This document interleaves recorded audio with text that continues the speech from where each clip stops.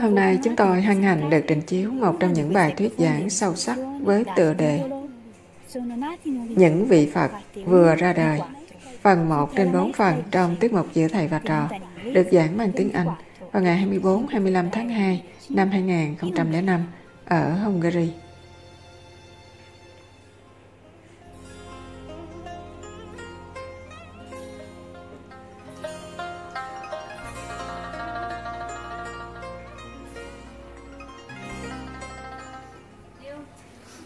Mới đến à?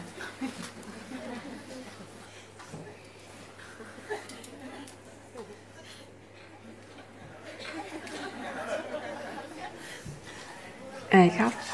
Thì tao biết chắc chắn là mới đến. Tôi không cần.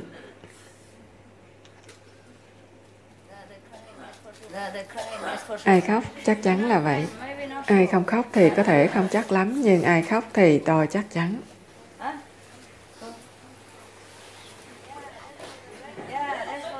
Cái đó cho cô mặc áo đỏ. Đây. Cái đó cho cô ta. Anh cũng mới đến à. Anh mới đến phải không? Nếu anh mới đến thì có thể lấy.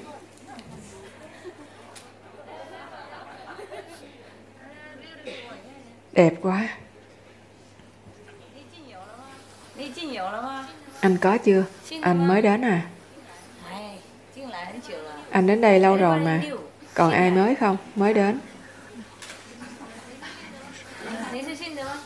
Anh mới đến à?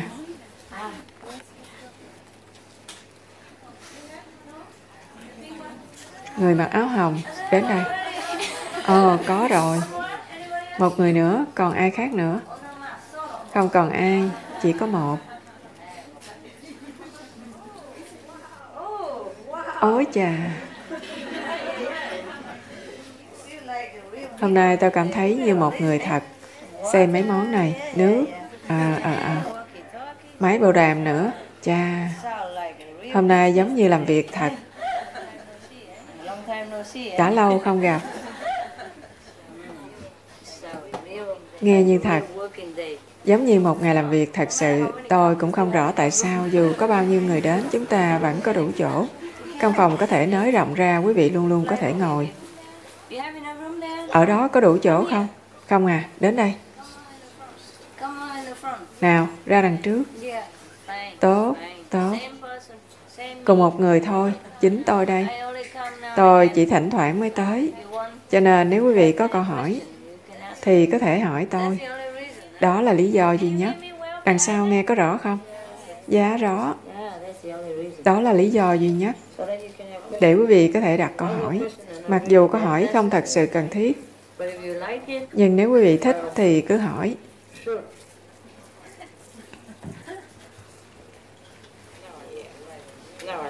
Bây giờ tôi trông giống như một người thật quan trọng. Tôi cảm thấy quan trọng. Tôi có quan trọng đối với quý vị không? Dạ có. Thật à? Tại sao vậy? Tôi đã làm gì? Tất cả. Tất cả à? À tôi biết. Hôm trước ồ oh, nói về chuyện đó. Hôm trước anh đồng tu lái xe đưa tôi đến đây. Việc gì anh ta cũng nói không sao, sư phụ an bài. Chiếc xe của anh tệ hại chết máy, ồ không sao, sư phụ sẽ sửa. Và những điều mà anh ta nói với người khác, họ nói tôi không thể, anh ta nói không sao, sư phụ sẽ làm giùm.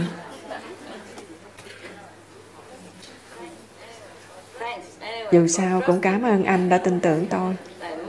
Xem tôi là một người đa tài. Quý vị có muốn hỏi tôi điều gì không? Không à? Chà, được, tôi chỉ ngồi đây một lát. Kẹo tôi vừa cho quý vị là từ phòng của tôi. Nó đã nằm đó 4 ngày rồi. Túi của tôi nhỏ. Tôi chỉ lấy có bấy nhiêu đó thôi. Chỉ vừa đủ thôi. Đây, hai cái túi chỉ vừa đủ cho những người này. Quý vị thiền có tốt không? Dạ tốt. Thức ăn ngon không? Dạ ngon. Thức ăn ngon phải không? Cũng được ha. Cũng ăn được phải không? Tôi còn có hai cái lò vi ba cho quý vị. Hay là ba? Hai? Hai cái. Nếu thức ăn nguội, quý vị hâm nóng một chút, thay phiên nhau. Cũng tốt chứ hả? Chỉ 2-3 phút là quý vị sẽ có thức ăn nóng như mới nấu. Người bị ho đã đỡ chưa? Đã bớt ho rồi phải không? Anh đỡ ho rồi phải không?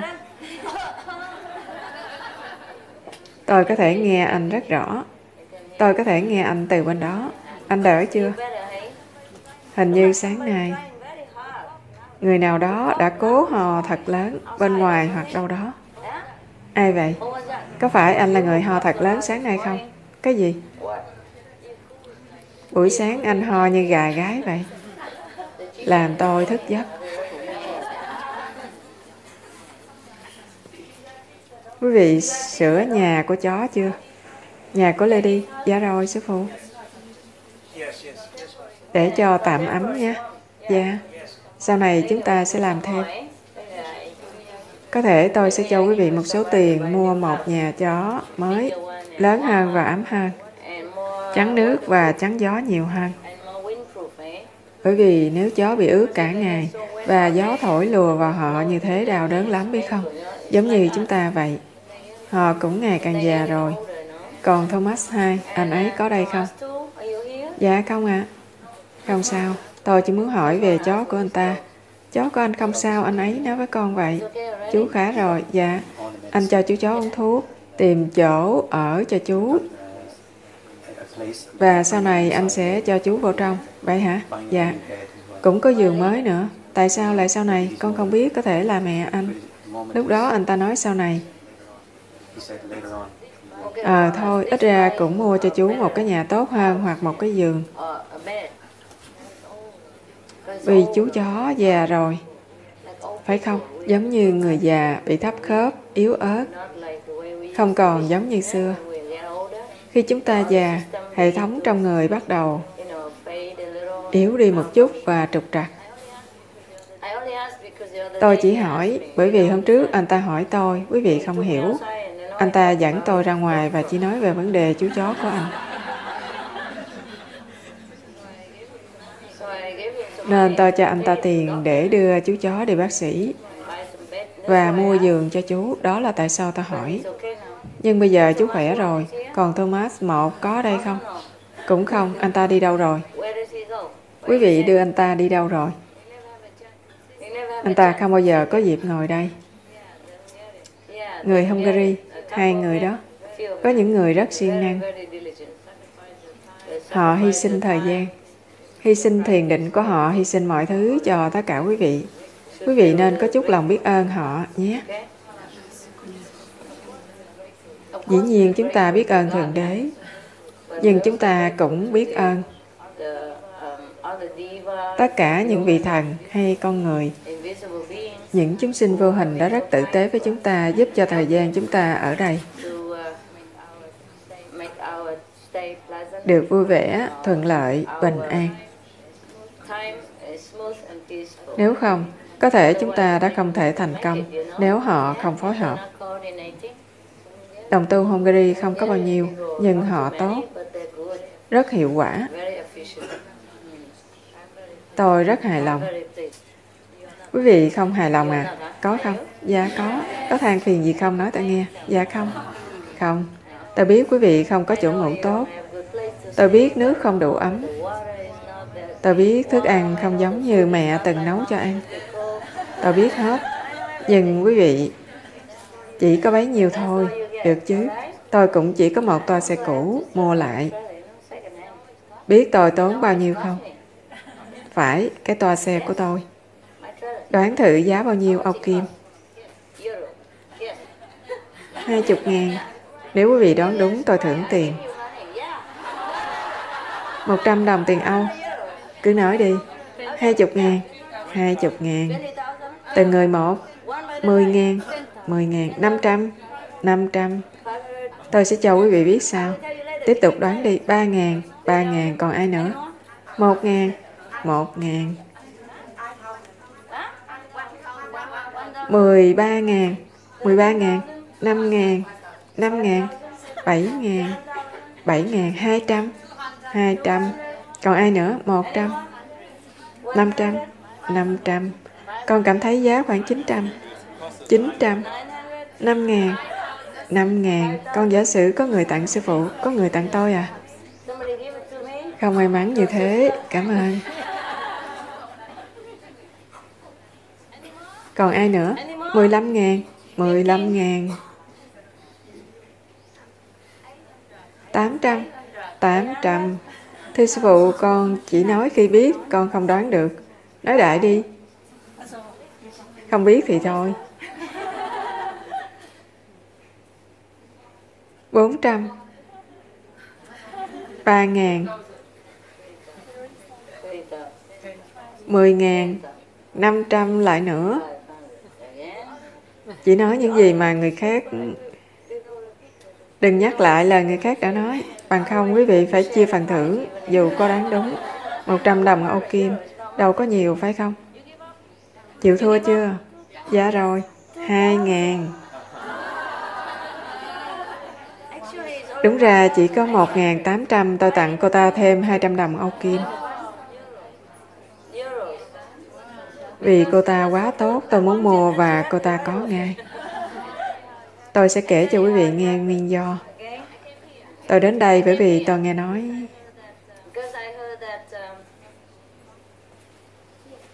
Đây, tới ngồi đây. Ngồi đó ổn hả? Tôi nghe nói trung tâm Hungary rất đẹp, vân vân nên tôi ghé qua London, Paris và Madrid rồi đến đây. Tôi nghe nói họ rất thành tâm nhưng tôi cũng tự đến xem thử rồi. Nhân tiện lúc nào chúng tôi nói về trung tâm Hungary, tôi cũng không hề nghĩ tới đó. Tôi vừa ra khỏi động chưa nghĩ đến chuyện ra ngoài. Vì tôi phải đi ra làm gì đó, ra khỏi động để làm một số việc. Tiện thể, trong lúc chúng tôi nói chuyện và tôi xem thử, ồ, đến lúc phải ra ngoài. Nên tôi xem thử và coi nước nào. Chúng tôi nói chuyện, bàn chuyện và họ nhắc đến Hungary và những quốc gia khác. Lúc đó tôi không nghĩ gì cả. Ngày hôm sau, tôi tình cờ mở một tạp chí, một du lịch Hungary. Trang nào cũng Hungary. Tốt. Tôi vẫn không nghĩ ngợi gì. Buổi tối tôi mở tờ khác, lại Hungary. Tôi vặn truyền hình, cũng Hungary. Tôi vẫn không nghĩ ngợi gì, tôi nghĩ thôi được, mình sẽ ghé qua Paris, ở lại vài ngày, gặp đồng tu người Pháp. À, tôi dự định ở lại Paris. Rồi tôi chợt thấy mấy tờ quảng cáo hay chi đó tại phi trường. Khắp nơi đều là Hungary, Hungary, rồi thông báo máy bay Hungary đến đây. Nên thôi được, tôi mua vé máy bay ở phi trường rồi đến đây. Cho nên quý vị có thể thấy hả? Thành tâm từ bên trong, biết không? Không phải như mình có thể phô trương cho người khác. Tôi có thể biết nếu tôi muốn biết. Tôi không muốn chứng minh với quý vị. Đôi khi những người làm việc gần với tôi họ biết nếu không thì có quá nhiều điều để kể. Ồ, tôi nói chuyện khác. Tôi quên mất rồi.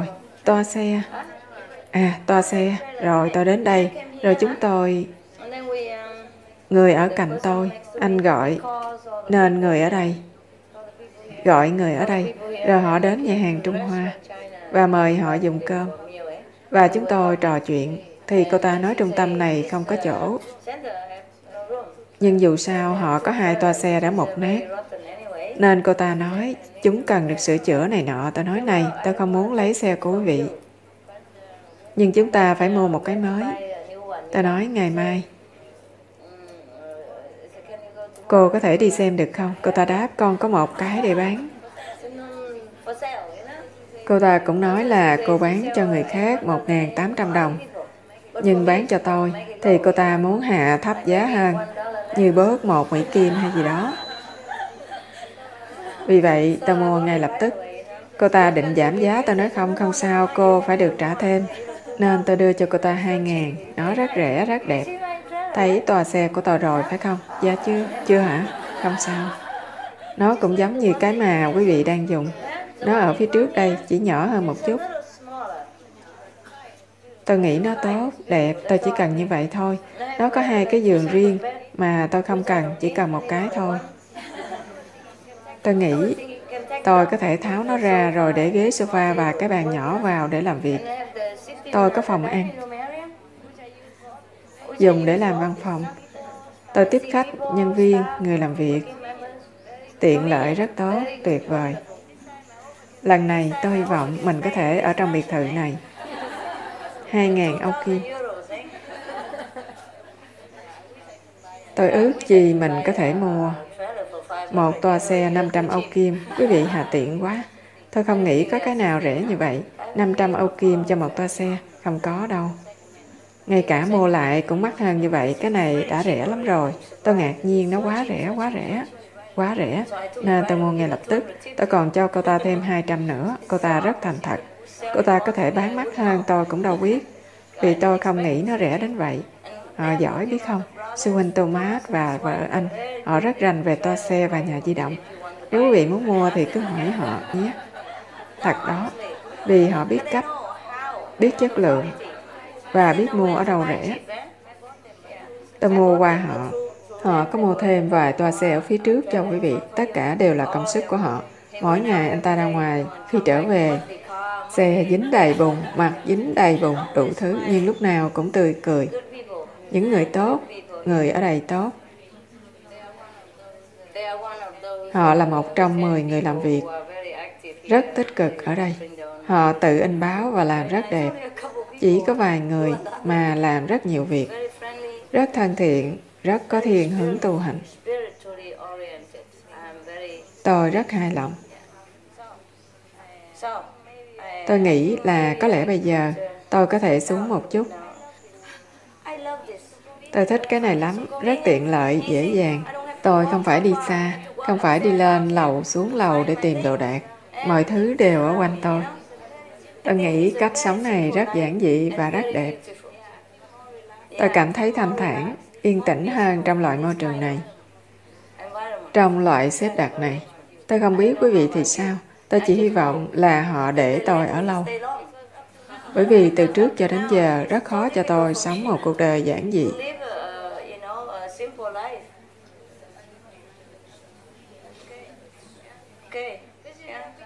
Vì nếu có một căn nhà lớn thì phải chăm sóc. Cho dù không tự chăm sóc thì cũng phải có nhân viên chăm sóc. Rồi mình phải chăm sóc cho nhân viên. Phần đó còn khó hơn là dọn dẹp. Hiểu ý tôi không? Thật sự không đáng gì cả. Nếu có tài sản, nhà tốt, xe đẹp và mọi thứ thì khủng khiếp.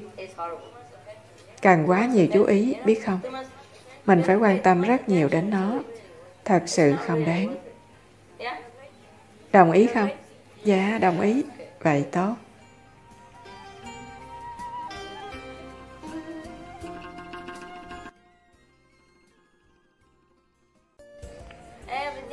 Mọi thứ đều ở quanh tôi. Tôi nghĩ cách sống này rất giản dị và rất đẹp. Tôi cảm thấy thanh thản, yên tĩnh hơn trong loại môi trường này. Trong loại xếp đặt này. Tôi không biết quý vị thì sao, tôi chỉ hy vọng là họ để tôi ở lâu. Bởi vì từ trước cho đến giờ rất khó cho tôi sống một cuộc đời giản dị.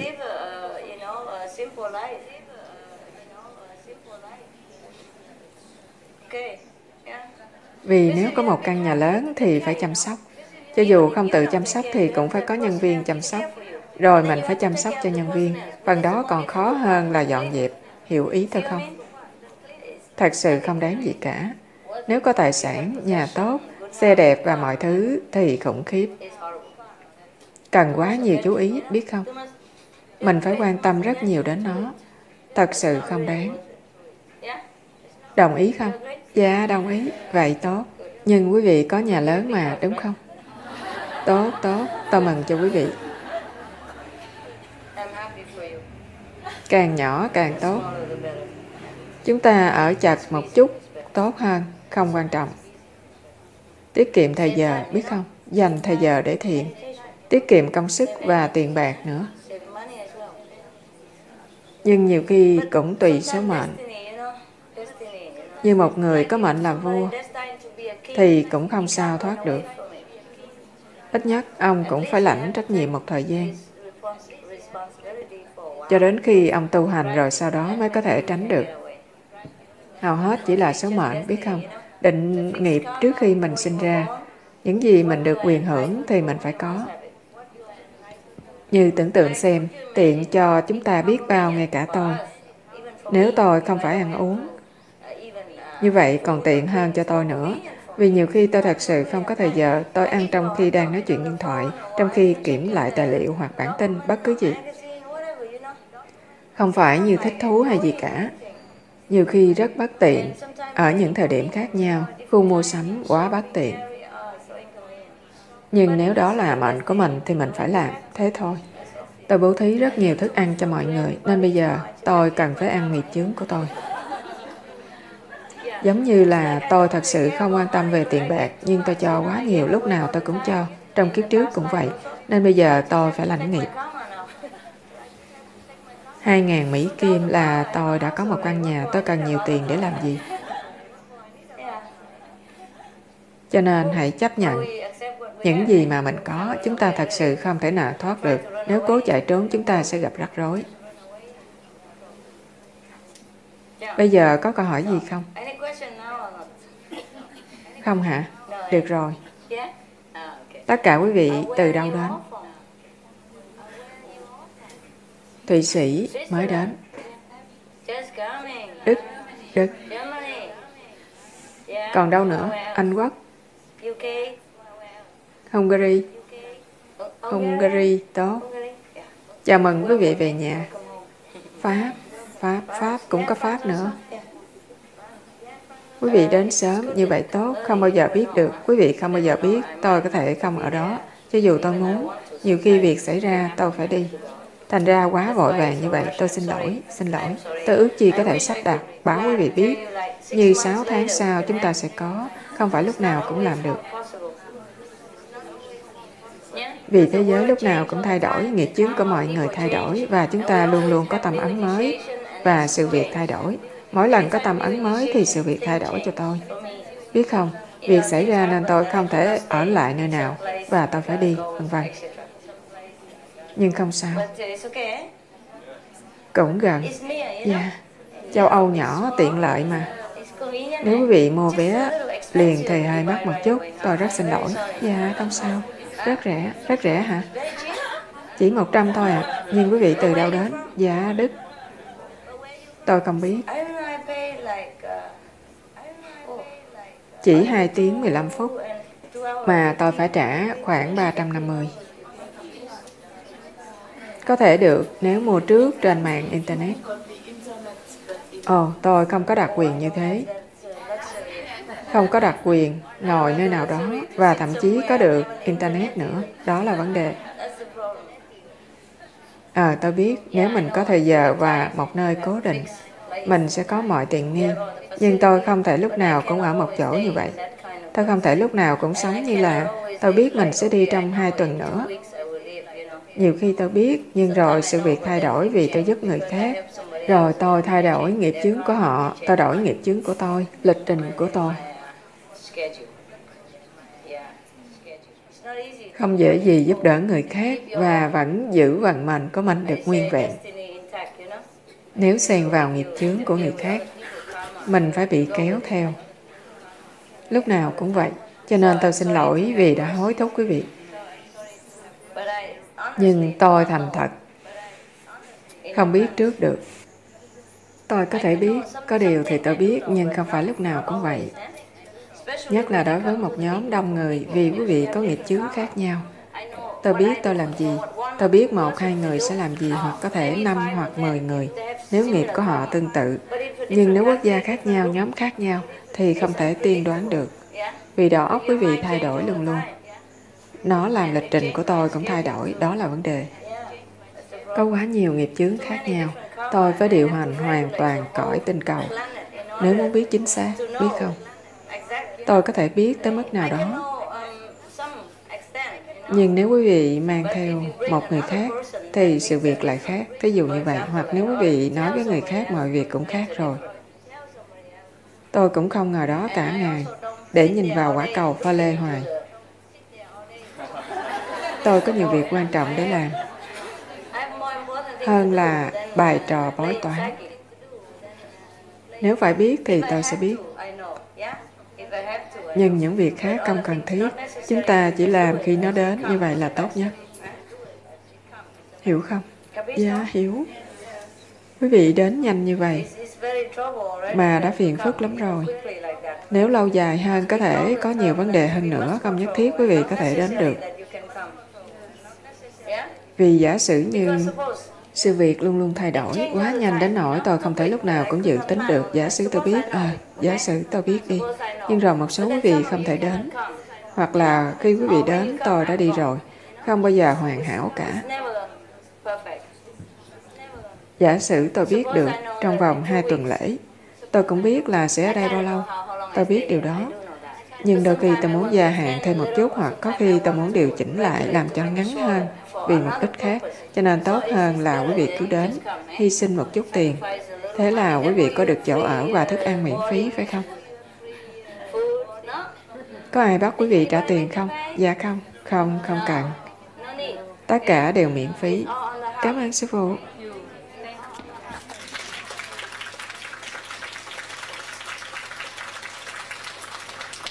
Hay lắm, như vậy rất tốt, phải không? Họ làm việc rất cực. Thấy không? Những gì tôi quên, họ là nhớ. Cảm ơn. Nhiều đôi tay giúp làm công việc nhẹ đi. Tôi đã nói với quý vị là họ rất được việc, tế nhị, quan tâm và rất chi tiết. Tôi rất thích họ làm việc nhanh nhẹn. Tôi thích vậy vì tôi không có thời giờ. Ngay cả nếu có thời giờ thì tôi muốn đi thiền. Tôi không muốn lãng phí thời gian nói chuyện, chỉ thị mấy thứ vật chất này.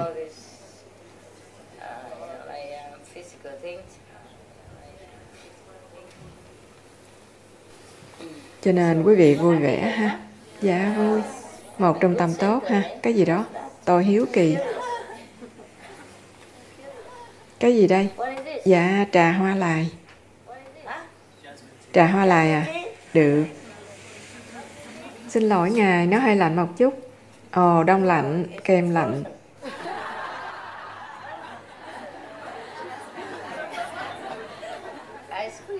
Dạ, trà đá. Trà đá phải rồi. Không, cũng được lắm. Họ cố gắng để giữ cho ấm. Nhưng định luật vật lý không hiểu họ muốn gì. Giống như cơ thể. Mình muốn làm điều này, điều nọ, nhưng đầu óc, thân thể cứ gây khó khăn cho mình. Chúng ta khó làm được. Chúng ta muốn làm thánh, nhưng nó lại bảo mình làm này làm kia. Về sau này, mình cảm thấy hối tiếc. Đừng lo, quý vị là thánh nhân, thánh nhân danh dự. Nhưng cứ tiếp tục cố gắng. Giống như thánh nhân trong cốp xe. Hiểu ý ta không? Biết không, có những người mang hàng lậu qua biên giới để trong cốp xe và lái vòng quanh thánh trong cốp xe. Tôi bịt mắt ma vương lại. Trói hắn vào một góc và lái xe đưa quý vị ra. Khi hắn chạy ra thì đã quá trễ. Chúng ta có cách để làm mọi chuyện.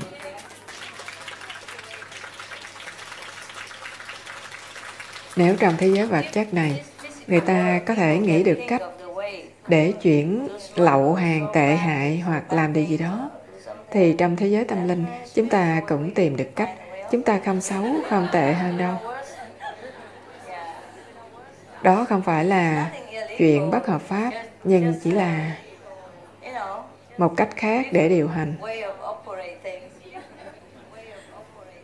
Bằng không, quý vị nghĩ sao chứ? Cả thế giới đều đi lên như vậy. Bằng cách nào? Đi lậu. Qua biên giới. Biên giới thứ hai và thứ ba. Có một kẻ hở ở đâu đó. Nếu biết thì quý vị đi qua được. Không? Tôi đã hối lộ nhân viên an ninh biên giới. Tôi lo lót họ rồi. Đúng không? Có phải quý vị nghĩ như vậy không? Mình không thể làm như vậy được. họ có mắt còn lớn hơn cả mặt trời. Họ thấy khắp mọi nơi. Chỉ có điều là tôi có thể làm được.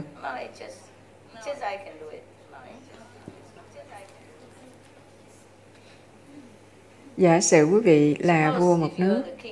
đôi khi có thể ban lệnh ân xá cho bất cứ người nào đúng không? Miễn là không quá nghiêm trọng. không quá trầm trọng như giết hoàng tử hay gì đó. hoặc là làm cách mạng chống nhà vua hay gì đó thì vua có thể ân xá cho bất cứ ai phải không? Nên nếu thế giới này như vậy thì cũng có thể giống trên thiên đàng, phải không? Tôi cũng thất vọng. Quý vị không có câu hỏi sao? Quý vị bình thường, huyên thuyên, hỏi nhiều lắm mà. Sao? Như chuyện téo có lần sư phụ kể về minh sư và đệ tử. Người đệ tử luôn luôn viết nhiều lá thư, thưa sư phụ, con rất tinh tấn trong việc tu hành. Ồ, phải, đúng đó. Cho nên bây giờ quý vị tốt rồi, không còn quan tâm gì nữa hả? Dạ thật vậy à? Những người mới đến không có câu hỏi nào. Ngày hôm qua họ có mấy câu hỏi. Nhóm đầu tiên hỏi ngay lập tức. Khi quý vị không có ở đây, họ hỏi nhiều. Nhưng bây giờ thì hoàn toàn yên lặng. Vậy cũng tốt. Được, quý vị có thể hỏi. Những câu hỏi thú vị. Không phải những câu hỏi thế tục hoặc nhàm chán. Có thể hỏi bất cứ gì hoặc có thể kể cho tôi những điều quý vị biết được nói cho tôi nghe điều gì đó. Có điều gì thú vị xảy ra cho quý vị mà có thể kể tôi nghe không? Lâu lắm rồi quý vị không gặp tôi mà lại không có gì để nói à. Chà, đời sống êm ả quá. Cứ nói. Từ khi sư phụ nói là ngài đã nâng chúng con lên ở bên trong. Thỉnh thoảng con xem truyền hình, con chú ý thấy là càng ngày càng có nhiều thông tin như thế giới muốn biết nhiều hơn về tâm linh như gần đây ở Đức. Truyền hình có chiếu chương trình về một người có tha tâm thông. Tha tâm thông. Và cũng có nhiều tạp chí nói là thiền định tốt cho sức khỏe. Đúng. Người tự chữa bệnh cho mình như ông bác sĩ tên tôi, biết không? Họ không chỉ dựa vào y khoa mà họ bảo mọi người rằng mình cũng có thể tự chữa cho mình có thể tự chữa cho mình. Dạ tự chữa cho mình. Nhiều đề tài như vậy ngày càng được mở rộng. À, trong giới truyền thông. Dạ trong giới truyền thông. Tốt. À, tôi cũng có thấy.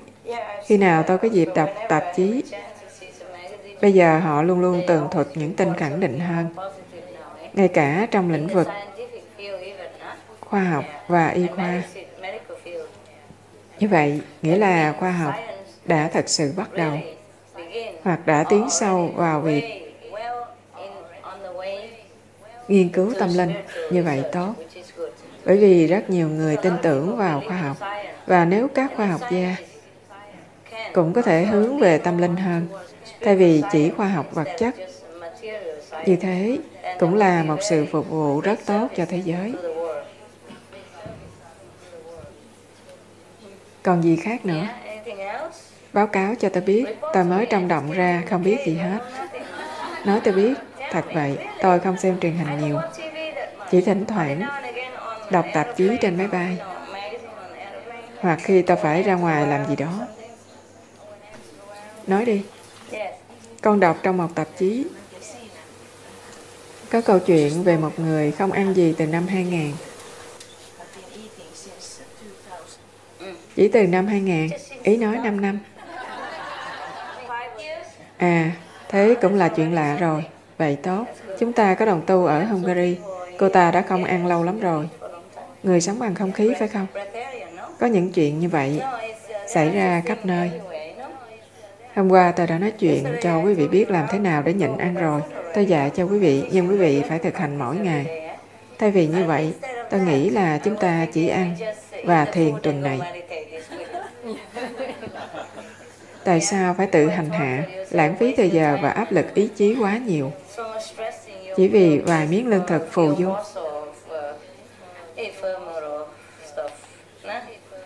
Ăn hay không ăn không quan trọng, chỉ đừng tham lam và ăn nhiều quá. làm cho mình không được thoải mái. Thế thôi. Bằng không thì cũng vô dụng thôi. Ăn uống cũng giống như gãi mặt hay thở thôi. Không sao, chỉ là việc bình thường. Ăn uống chỉ để cho cái máy này hoạt động. Nhưng quý vị có thể bằng mọi cách ngừng ăn bất cứ lúc nào mình muốn.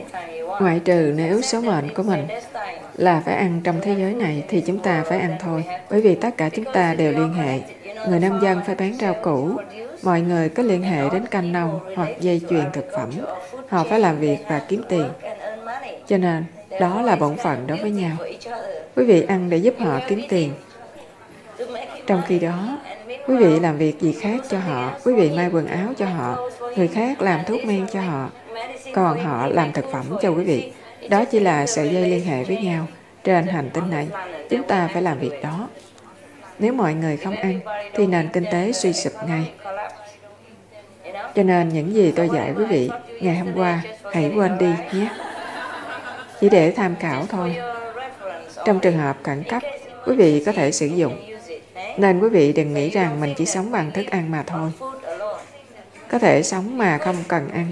Nếu phải như vậy chắc chắn sẽ sống, không sao hết. Đôi khi tôi nhịn ăn một thời gian dài, không có gì xảy ra cho tôi. Thậm chí không cảm thấy đói bụng, không muốn ăn. Đến lúc bắt đầu ăn trở lại, thức ăn giống như là giấy vậy. Không có hương vị gì, không có gì ngon cả. Nhưng không sao, chỉ sống như mọi người để quý vị không kéo quá nhiều sự chú ý cho mình. Trước đây có một nữ tu tên là Therese Neumann. Bà ta ở Conorales, hay Đại Khá Gậy ở Bayern. Bà ta nhịn ăn mấy chục năm. Có nhiều người đến xem bà hàng ngày, rất nhiều mỗi ngày. Và thậm chí bà không sao sống bình thường được.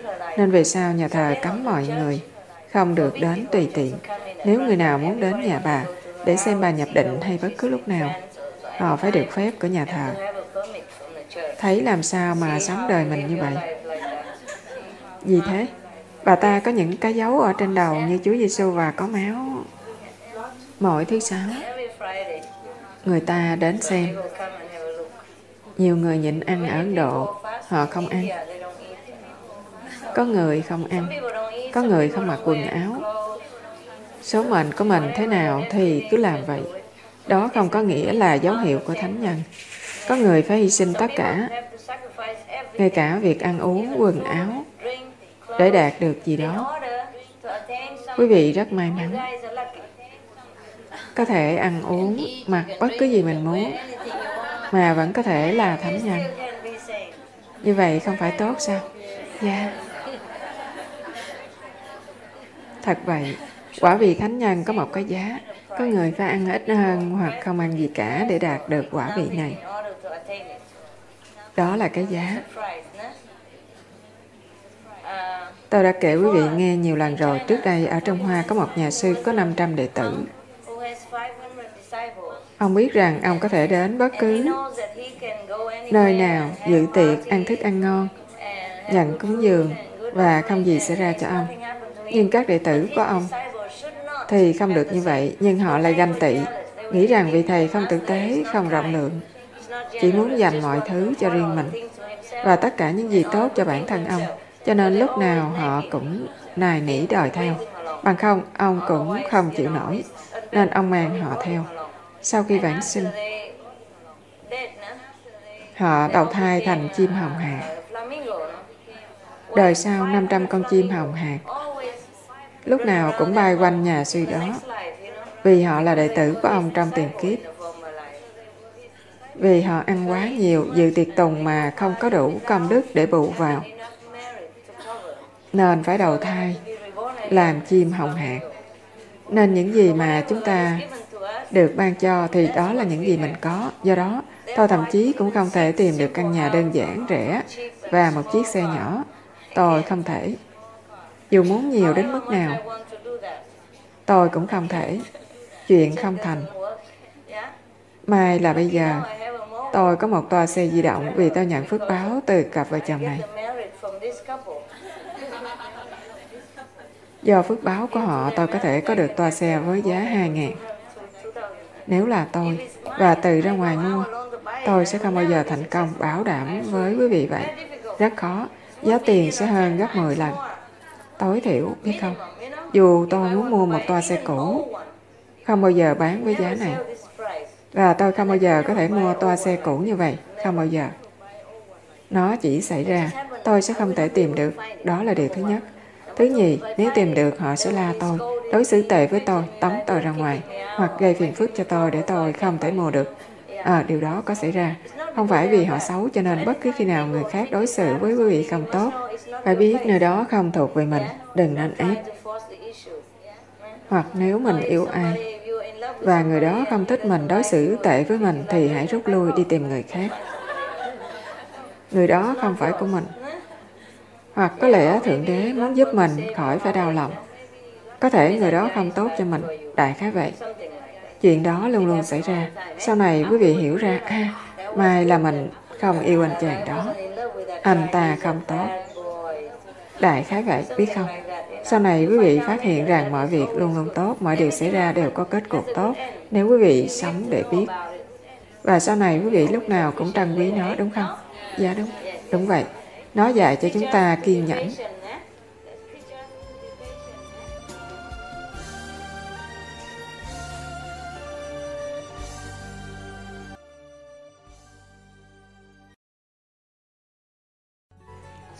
Cho nên bất cứ khi nào người khác đối xử với người không tốt, phải biết nơi đó không thuộc về mình, đừng nên ép. Hoặc nếu mình yêu ai và người đó không thích mình, đối xử tệ với mình thì hãy rút lui đi tìm người khác. Người đó không phải của mình. Hoặc có lẽ Thượng Đế muốn giúp mình khỏi phải đau lòng. Có thể người đó không tốt cho mình. Đại khái vậy. Chuyện đó luôn luôn xảy ra. Sau này quý vị hiểu ra, à, mai là mình không yêu anh chàng đó. Anh ta không tốt. Đại khái vậy, biết không? Sau này quý vị phát hiện ra rằng mọi việc luôn luôn tốt. Mọi điều xảy ra đều có kết cục tốt nếu quý vị sống để biết. Và sau này quý vị lúc nào cũng trân quý nó, đúng không? Dạ đúng. Đúng vậy. Nó dạy cho chúng ta kiên nhẫn. Hỏi đi. Con hiểu rằng chúng ta không phải chọn lựa nhiều vì dù sao tất cả chỉ là số mệnh.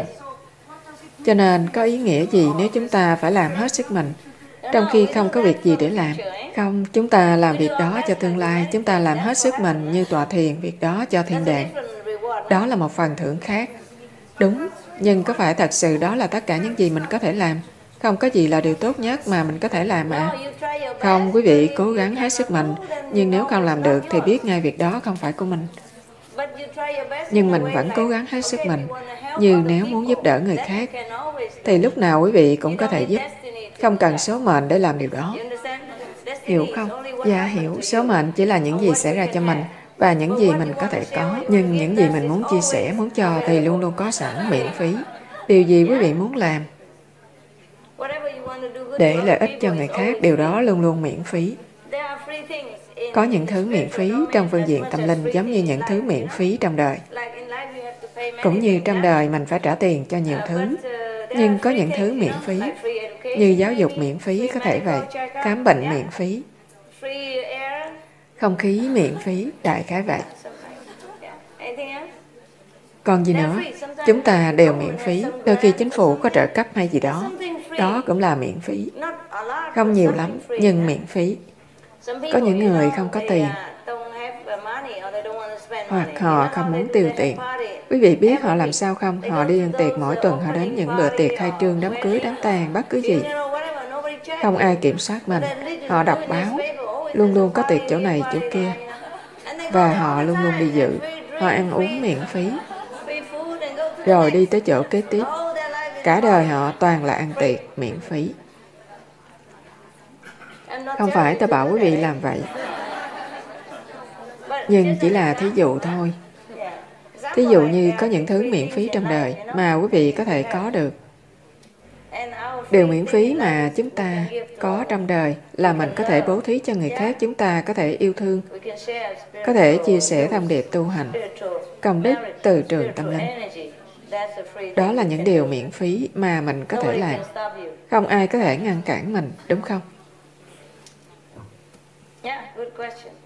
Câu hỏi hay. Thời xưa, Có một vị minh sư tên là Kabir, biết không? Dạ. Ngài rất nghèo. Tôi nghĩ Ngài là thợ sửa dài. Nhưng Ngài luôn luôn rất rộng rãi.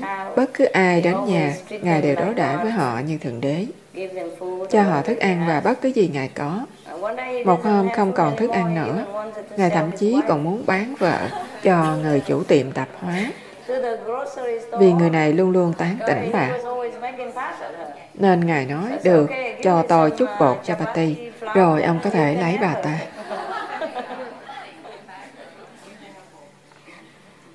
Thông thường chúng ta coi khinh hành động như vậy. Nhưng các vị thánh họ không mạng bất cứ gì họ làm đều đúng. Họ không làm vì những mục đích mờ ám. Hiểu ý tôi không? Không phải là quý vị làm gì mà còn tại sao nữa. Đừng bao giờ phán xét ai vì việc đó. Nhưng tôi không khuyên quý vị viện những cớ này, rồi đổ lỗi cho tôi hay Kabir. Không cần thiết, phải không? Đó là một hoàn cảnh khác, ha? À, dù sao tôi cũng không làm gương cho quý vị được, tôi đâu có vợ để khởi sự. Có một anh chàng ở Mỹ, rất trẻ, chừng 21 tuổi. Tôi cũng không biết anh ta, tôi biết nhưng không đích thân biết anh ta.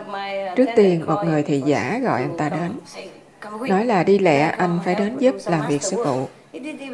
Anh ta thậm chí không biết là sẽ gặp tôi gì hết. Dĩ nhiên tôi đã cho phép thị giả gọi. Nếu không thì họ không dám. Nhưng anh chàng đó không biết, nên anh ta đến chung với một nhóm khác. Người kia hỏi anh ta, giả sử sư phụ muốn anh ở lại, anh sẽ ở bao lâu? Suốt đời. Rất trẻ và đã cao cả như vậy rồi. Anh chàng đang học dự bị y khoa, một người thông minh không phải là ăn không ngồi rồi, hoặc vô tích sự. Anh chàng rất có tài và rất giỏi, cho nên có những người thật sự thành tâm. Có những người chỉ nói, và khi bài khảo đến, họ rất thê thảm, thật thê thảm. Tôi không biết anh ta. Họ chỉ nghĩ là anh ta có thể làm được việc nên họ gọi. Và dĩ nhiên là khi đến và được gặp tôi, anh ta rất vui mừng. Dĩ nhiên rồi, cha, mai là mình nói dạ vâng. Anh chàng đang học đại học rất bận. Biết không, dự bị y khoa, không phải chuyện đùa, rất bận rộn. Anh ta buông bỏ hết. Đầu tiên khi thị giả gọi anh ta nói được. Anh ta nói, tôi có thể tới ở một tuần phải không? Anh ta chỉ nghĩ được bao nhiêu đó. Người thị giả nói, à một tuần có thể không, hai ba tuần thì sao? Anh ta nói cũng có thể được, nhưng hơi có áp lực. Anh ta nói không sao, bao lâu cũng được.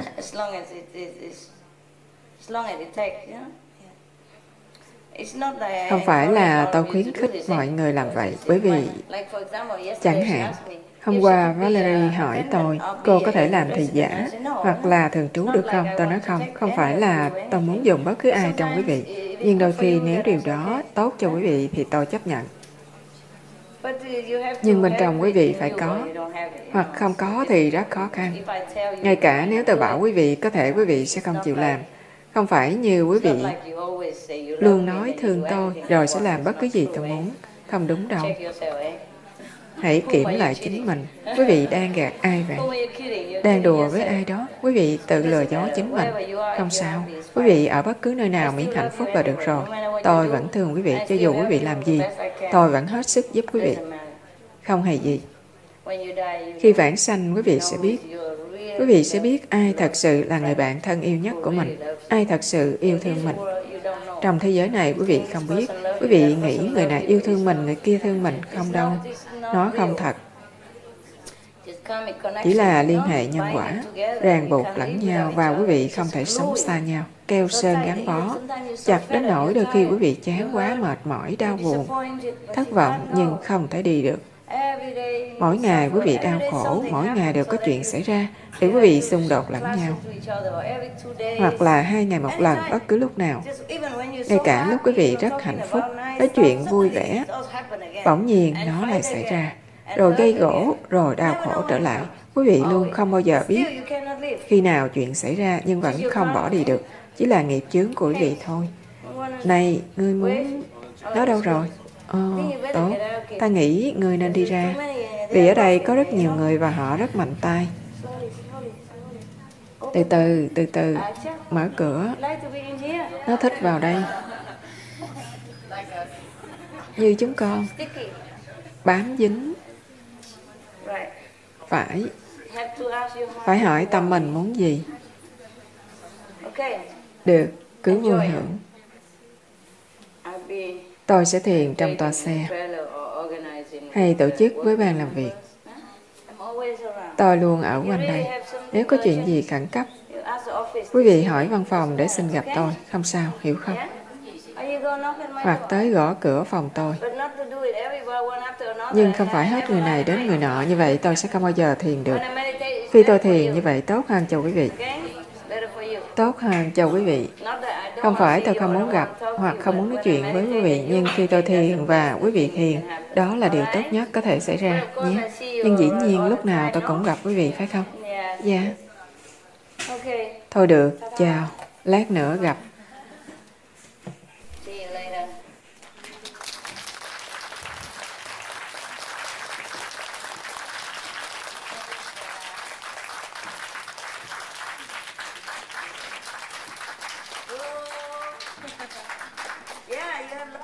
Có rất nhiều chỗ trong đây, tốt hơn bên ngoài. Chỉ có bốn người, phòng rộng.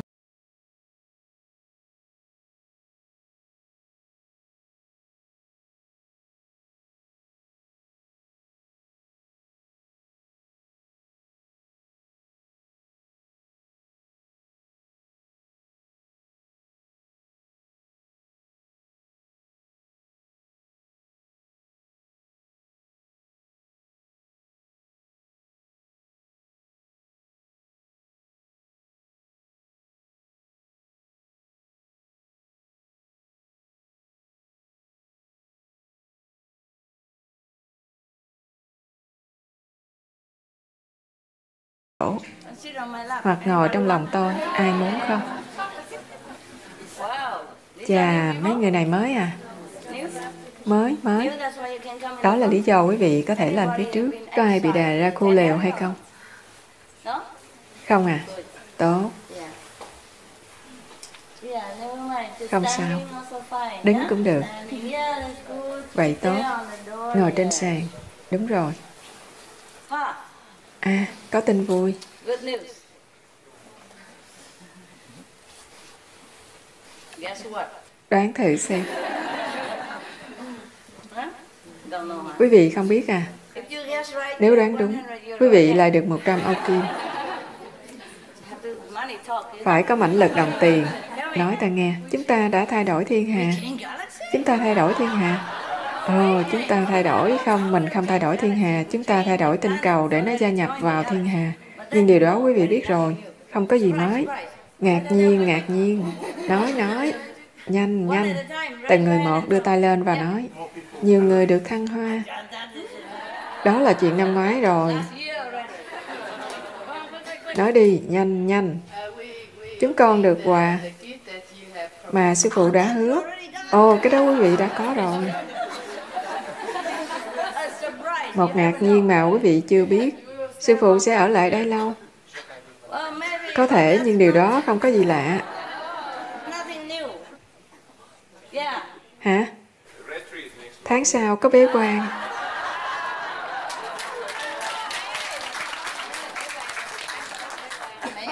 Có thể, có thể, nhưng không phải. Sư phụ có người kế vị. Tôi cái gì? Ngài đã tìm được người kế vị. Không, không phải. Tôi không cần ai cái vị nữa, tôi đã kéo tất cả lên hết rồi. Có truyền tâm ấn. À, cái đó không có gì mới. Tóc sư phụ dài hơn. Phải, đó là một ngạc nhiên. Tôi làm cho tóc dài ra. Sư phụ mới mua được thêm mấy toa xe rẻ. Chà, đúng lắm, nhưng không phải.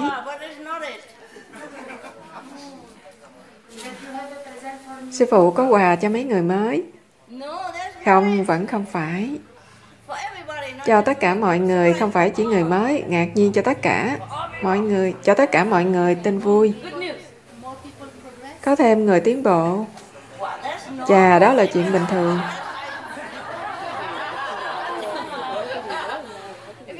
Nếu quý vị không tiến bộ, thì tôi véo mũi quý vị. Chúng con đạt đẳng cấp thứ năm. À, quý vị nằm mơ. Sư phụ không phải làm việc nữa. Cô cũng nằm mơ. Chúng con ở đây đều là Phật. À, cô cũng nằm mơ luôn. Ma vương để yên cho chúng ta. Sao? Lực lượng ma vương để yên chúng ta. Ồ, oh, đúng, cái đó chúng có làm. Nhưng không phải để yên cho vài người trong quý vị, chứ không phải tất cả. Sư phụ đã có cái xe Ngài muốn. Tình lớn thế. Loài vật cũng được sư phụ nâng cấp. Ồ, oh, cưng ơi, dĩ nhiên là vậy, nhưng điều đó không có gì lạ, không phải. Quý vị chịu thua chưa? Dạ rồi. Không còn chiến tranh trên địa cầu. Ồ, oh, không phải, chúng con chịu thua.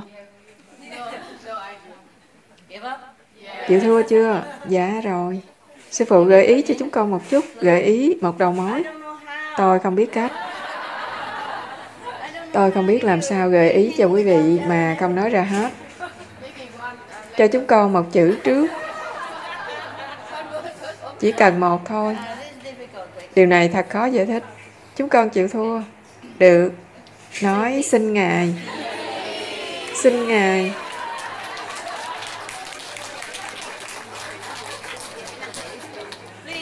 Xin ai? Xin sư phụ. Xin sư phụ, xin sư phụ. Tôi sẽ suy nghĩ lại. Xin Ngài, xin Ngài. Quý vị nói gì? Xin sư phụ, xin sư phụ. Xin sư phụ. Xin sư phụ, xin sư phụ. Được, được. Nhưng tất cả quý vị đều mất 100 đồng ô kim. Nhưng chúng con được biết tin. Quý vị đều nghĩ mình đẳng cấp thứ năm thành Phật đủ thứ, nhưng thậm chí không đoán gì được. Rồi, vậy điều đó chứng minh. Dạ. Tất cả quý vị có ba sứ giả quán âm mới. Oh. Không phải chỉ có như vậy. Họ ở trong số quý vị. Oh. Họ không phải là thường trú. Họ ở đẳng cấp thứ năm. Oh.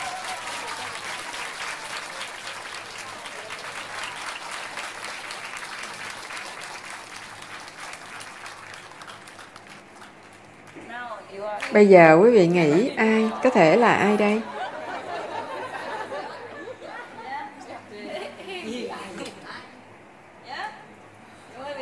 Có thể quý vị nghĩ đó là mình hả? Dạ không, không. Dù sao họ là người Âu Châu nghe. Người Âu Châu, à, à, và không phải là thường trú. À, người giỏi. Có thể là quý vị, có thể quý vị. Anh ta đang đứng. Có hai người họ, họ khác.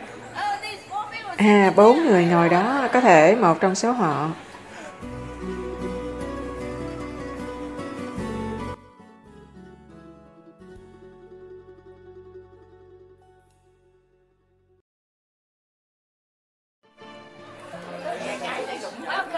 Chào mừng quý vị về nhà. Người mới chỉ cho người mới thôi nhé.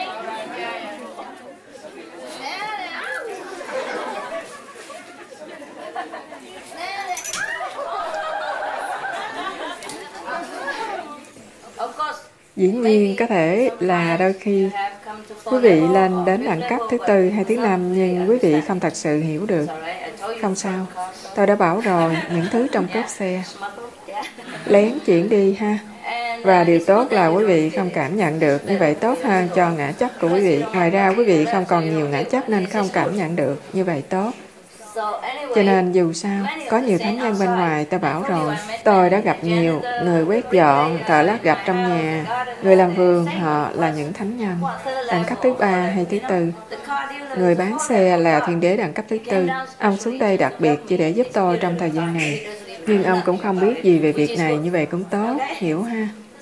có những vị thánh hoặc những người xuống đây đặc biệt để giúp chúng ta hoặc giúp chính họ để giúp người khác nhưng họ không nhất thiết. Muốn biết khi nào họ xuống cố tình giữ kín để họ có thể làm việc tốt hơn hiểu không?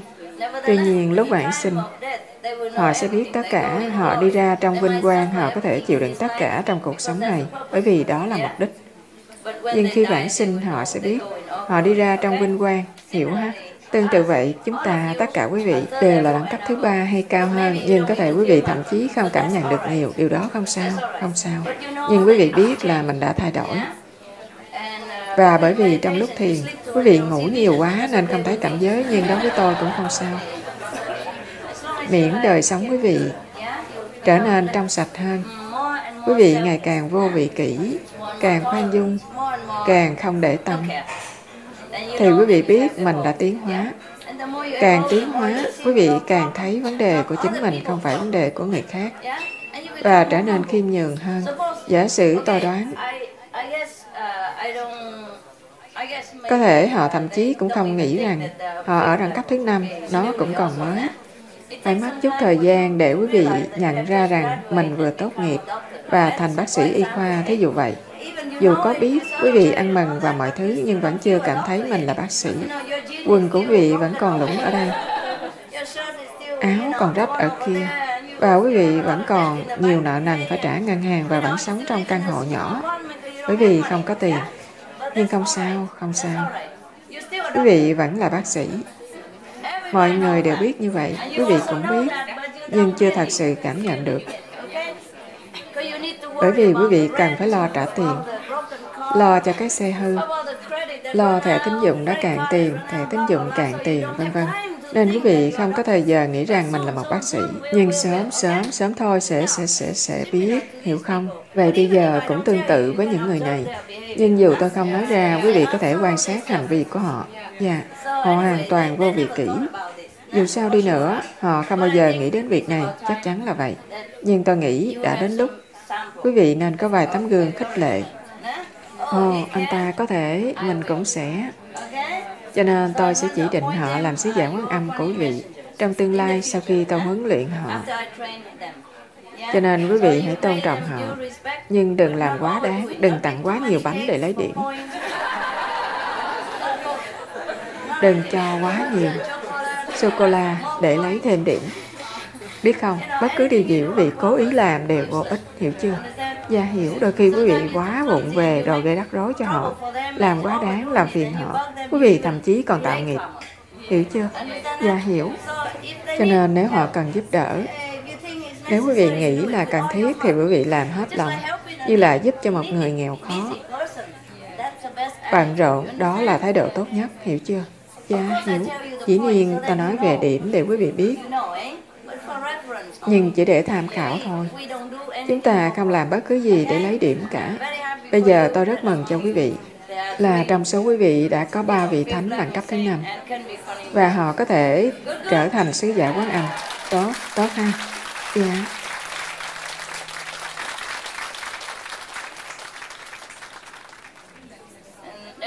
Tuy nhiên, tất cả quý vị sẽ thành, hiểu không?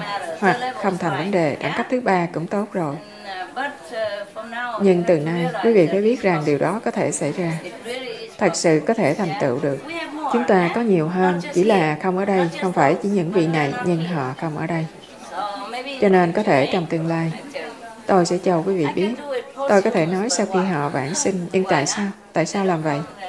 Nếu họ không đến thì thôi.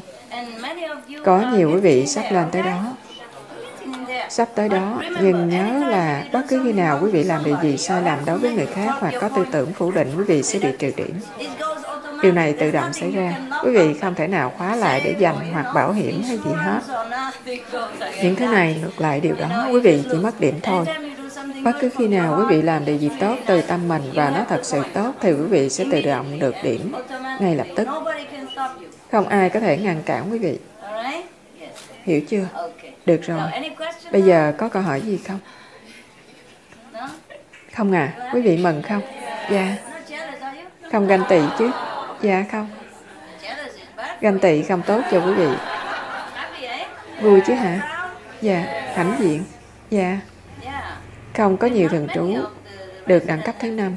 Cho dù có được, đó là do ở gần tôi và phụng sự tôi nên họ được rất nhiều điểm. Nhưng rồi họ rớt rất nhanh một khi họ ra ngoài. Nếu ra ngoài đẳng cấp họ, họ xuống hai và đẳng cấp rất nhanh. Thật đáng thương biết không? Tất cả những sứ giả quán âm, tất cả những thường trú, rời bỏ đoàn thể chúng ta hoặc rời tổng bộ đều xuống một cái vèo. Biên giới thứ ba. Không sao, họ sẽ không xuống địa ngục hay gì cả, nhưng chỉ vậy thôi. Phải mất rất lâu để leo lên hai đẳng cấp nữa hoặc ba đẳng cấp nữa. Khi đã đến đó, quý vị nên gắn giữ. Họ đi ra ngoài, người ta sẽ nuốt sống họ. Người bên ngoài không có ai. Cho đến bây giờ, chỉ trong đoàn thể chúng ta mới có đẳng cấp thứ năm cho đến bây giờ, có thể trong tương lai. À, có câu hỏi gì không? Dạ không. Không à? Dạ không. Vậy tốt, chúng ta ăn mừng. Đây là số kẹo thuần chai còn lại. Quý vị có chưa?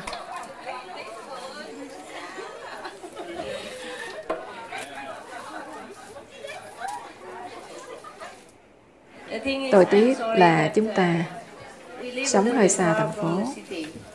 Bằng không chúng ta sẽ cung cấp đủ thứ để ăn mừng. Đường sáng như vậy, rất khó ra ngoài để mua sắm. Chúng ta cũng không có đủ nhân lực, hiểu không? Dạ, yeah, rất nhiều lực lượng minh sư, rất ít nhân lực. Như vậy cũng được. Quý vị không màng chứ hả? Quý vị không màng thiếu thốn tiền nghi? Dạ không, không. Bất cứ gì chúng ta có, mình cùng vui với nhau. Dạ, miễn là chúng ta hạnh phúc và ở cùng nhau chúng ta hạnh phúc. Dạ. Như vậy tốt, dù sao cũng không bao giờ có tất cả mọi thứ trên thế gian này. Cho nên không sao, không sao. Chỉ có những gì mình có, và như vậy là tốt rồi. Giỏi, giỏi, con gái ngoan, con trai ngoan. Tốt, tốt. Mấy giờ rồi? Dạ, 8 giờ 34 phút. Ôi trời, mấy chú chó đã ngủ rồi. Nếu lát nữa mấy chú chó thức dậy, ai đó cho mỗi chú chó vài miếng phô mai thuần chay nha. Lát nữa nha. Nhớ nha, họ cũng ăn mừng, hiểu không? Đừng quên, hôm nay tôi không có thời giờ cho họ phô mai thuần chay. Ô, nhìn kìa. Xăm banh hay rượu nho không cồn. Mọi người lấy một chút phòng khi trà rượu nho không cồn ngon.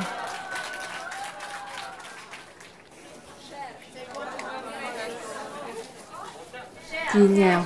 Trong trường hợp chúng ta không có đủ, có đủ cho mọi người không? Dạ, sư phụ, chia nhau, chia nhau. Chia với nhau nha. Mỗi thứ một chút, tượng trưng thôi nha. Một chút thức uống, nhưng rất nhiều tình thương.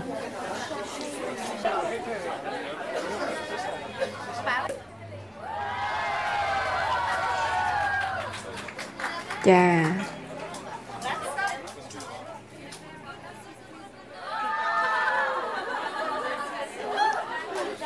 Xăm banh ngon không?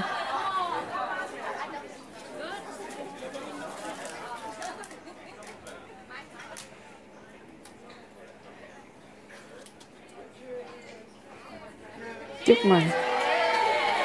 Mọi người có rồi chứ? Dạ chưa? Chờ, chờ, chờ. Chờ, chờ. Có người không có, thấy không? Nếu quý vị không có thì uống phần còn lại của tôi.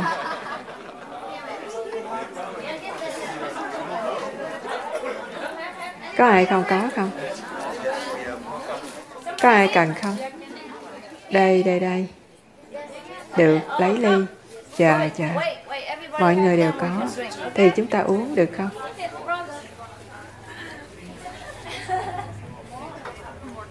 Ồ, cái gì vậy?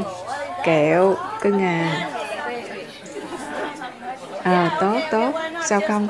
Chỉ chuyển đi. Họ có thể ăn bất cứ gì họ muốn. Tốt. Đây nhé. Truyền đi, quý vị thích gì thì lấy nấy. Được, truyền đi, truyền cho nhau.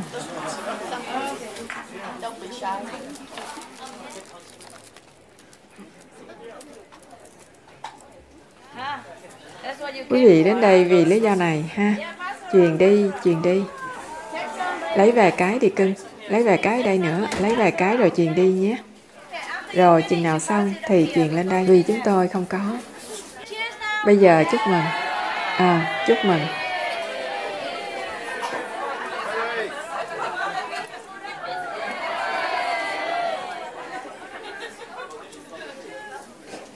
tạ ơn thượng đế à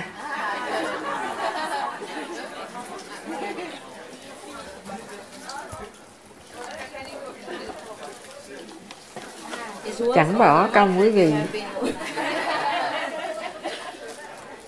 Đã bơi lội qua bùng chúng con cảm thấy rất vui. Hả? Chúng con thấy rất vui. Tuyệt vời hả? Dạ. Tốt. Đúng ra phải cảm thấy vậy. Tôi thích kiểu tóc của quý vị. Màu đẹp quý vị trông rất vui sướng. Tất cả quý vị trông rất hạnh phúc. Tôi chưa bao giờ thấy ai sung sướng như vậy trong đời. Ý tôi nói người ngoài, tôi chưa bao giờ thấy ai sung sướng như thế. Tôi muốn nói là thật sự hạnh phúc. Không phải chỉ cười nói vui vẻ, nhưng thật sự sung sướng. Từ trong tâm, như trẻ thơ. Đó là hạnh phúc đơn thuần. Khi vui sướng và ăn mừng, quý vị hát như thế nào? Ô mili ô mili hả?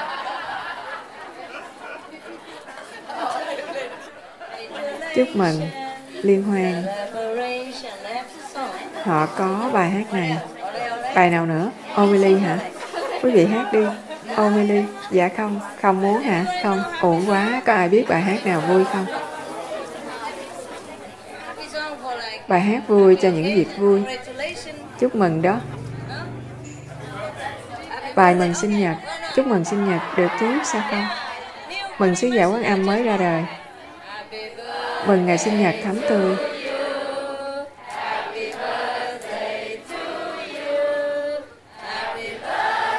mừng Bồ Tát sinh ra đời. Chúc mừng sinh nhật tươi vui. Mừng ngày sinh nhật thắm tươi. Mừng Bồ Tát thân thương. Chúc mừng sinh nhật tươi vui. Mừng ngày sinh nhật thắm tươi. Mừng Bồ Tát thanh thư, Chúc mừng sinh nhật tươi vui.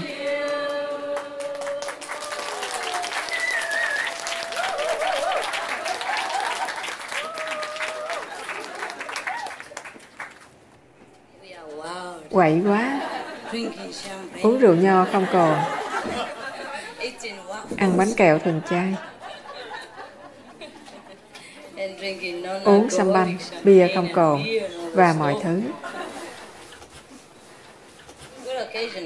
Một dịp vui, cô ta đang xây một núi kẹo ở đằng kia. Cô có bao nhiêu túi ở đó vậy?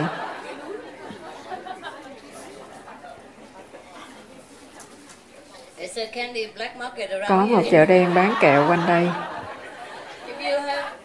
Nếu quý vị chưa có cơ hội lấy kẹo, thì có người đang bán ở đây. Biết không, giá gấp đôi. Bây giờ quý vị biết các vị Phật trông như thế nào rồi. Lúc trước tôi luôn luôn thắc mắc những vị Phật trông như thế nào. À, họ giống như vậy. Râu tóc bù xù.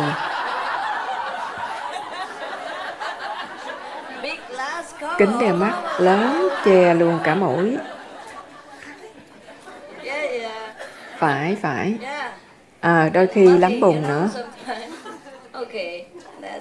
À, đó là hình ảnh của một vị Phật, chứ không phải là chúng ta không biết, phải không? Không phải là chúng ta không biết cái gì tốt hơn. Rồi, tốt. Quý vị cảm thấy như thế nào? Dạ, vui. Vui hả? Dạ, mãn nguyện.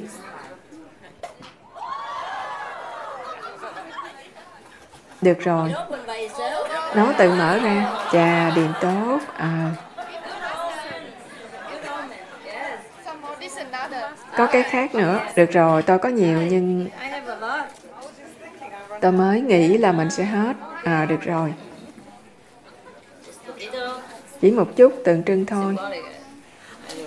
Tôi không uống nhiều. Được rồi. Rót cho những người khác chỉ tượng trưng thôi. Nó tự động bật ra. không đợi được, không thể đợi để tham gia dịp vui. Chà, con ngoan, trời ơi.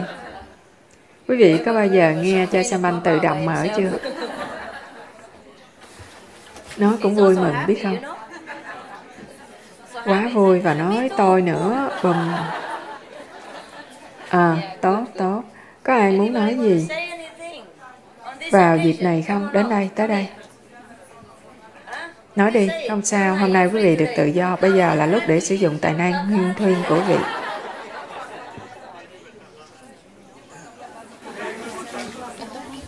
Tấm gương rất tốt, gương tốt cho quý vị. Tốt tốt. Người nào nữa? Đâu đó. Nào đứng lên nói đi, không à. Có người giơ tay phải không? Nói nói đi bây giờ là lúc trò chuyện.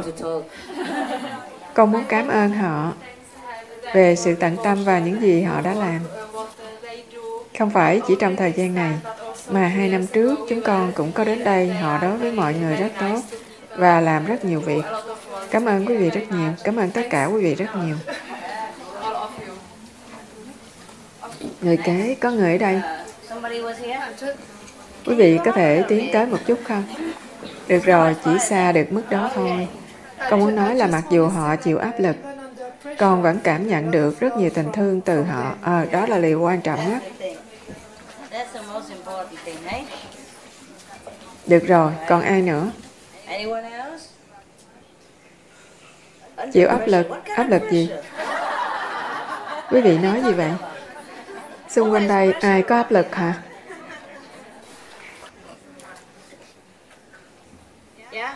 À, rất vui mừng là quý vị đến bởi vì nếu không thì nơi này vắng lặng đúng không à, họ cầu nguyện lâu rồi mới được gặp quý vị Trước kia quý vị có thể bế quan hoặc làm bất cứ gì ở bất cứ nơi nào quý vị muốn. Hầu hết họ báo cáo với tôi và nói, dạ Thái Lan muốn tổ chức thiền tam từ ngày này đến ngày này. Hồng Kông muốn, tôi luôn luôn được. Kỳ vừa rồi cũng vậy. Trước đó chúng ta không tổ chức nữa. Nhưng có người dùng cơ hội này cho mục đích riêng của họ như vậy không tốt. Nên tôi nói thôi, đừng tổ chức nữa, không cần thiết. Vì có lợi ích gì? Khi phải làm việc cực nhọc, mang hết hành lý đến một trung tâm khác, rồi ngồi đó xem truyền hình. Xem sư phụ trên TV, điều đó quý vị cũng có thể làm ở nhà, hiểu không? Còn phải trả rất nhiều tiền để mua vé nữa, biết không? Tiền bạc không dễ kiếm được ở thế giới này, đối với hầu hết mọi người, đối với nhiều người. Nếu mọi người đều làm vậy, thì quý vị sẽ tiêu hết tiền, rồi khi có bế quan thật, sư phụ đến thì không còn tiền nữa. Đồng thời phải trả cho họ tiền khách sạn hay gì đó, cho nên tôi muốn ngừng việc đó. Nếu không thì bế quan lúc nào cũng tốt. Quý vị có thể tổ chức nội trong địa phương của mình, cũng đủ người rồi. Cho nên từ đó, trung tâm này trống không. Họ mua nơi này cho quý vị đến để thiền. Nhưng quý vị không bao giờ đến, nên lần này họ rất vui. Nếu quý vị muốn tổ chức thiền hoặc bế quan bất cứ lúc nào đều tốt. Càng gần quốc gia hoặc địa phương của quý vị càng tốt cho quý vị. Quý vị tiết kiệm thời giờ, sức lực, có thể thiền nhiều hơn thay vì du hành. Nhưng dĩ nhiên, nếu quý vị muốn gặp tôi thì khác, tôi sẽ bù đắp thời gian mà quý vị mất, chuyện đó khác, hiểu không?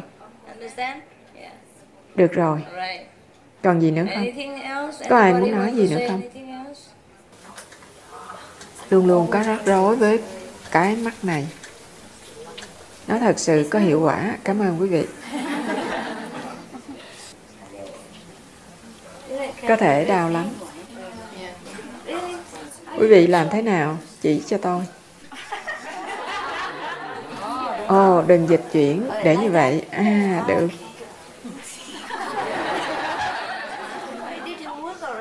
Trước đó làm được rồi, lần đầu tiên, cảm ơn lúc nào cũng có thể học hỏi, đừng cười. Sao lại cười những việc mà mình không biết? Quý vị nên học hỏi. Thấy không, tôi vừa học được một cái mẹo hay từ cô ta. Nó hữu dụng. Cảm ơn cô. Quý vị không biết khiêm nhường sao? bất cứ ai cũng có thể dạy cho mình điều gì đó. Ngay cả thượng đế xuống đây, ngài cũng cần rất nhiều giúp đỡ của các thiên thần và chư thiên. Họ đã sẵn sàng vị trí ở đâu đó và giúp đỡ trên những đoạn đường khác nhau. Mà tôi đi qua, nếu không, tôi càng gặp khó khăn hơn, hiểu không? Lúc nào cũng có các vị thiên thần ở xung quanh nhưng dù vậy đôi khi họ cũng không thể làm được nhiều. Nhưng sẽ tệ hơn nếu họ không có ở đó.